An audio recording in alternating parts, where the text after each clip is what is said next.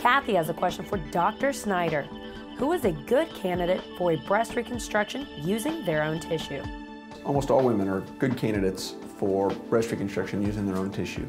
The most common of that is using tissue from the abdomen. So that's skin and fat from the abdomen that we use, and that's called a DIEP flap. But occasionally there are patients who have less abdominal tissue or may not have that tissue anymore because of a previous operation. And in that case, our favorite secondary donor site or place to take tissue from is the inner and posterior thighs. So that's either a TMG or a PAP flap, as we call them, which borrow skin and fat from the inner and posterior thighs to make a breast from.